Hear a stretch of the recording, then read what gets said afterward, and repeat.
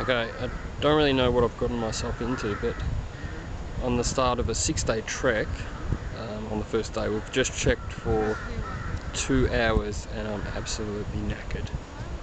Anyway, so here's where we're trekking around.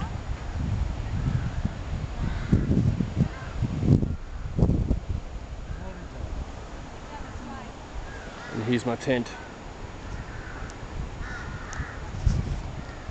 So we'll see if I make it.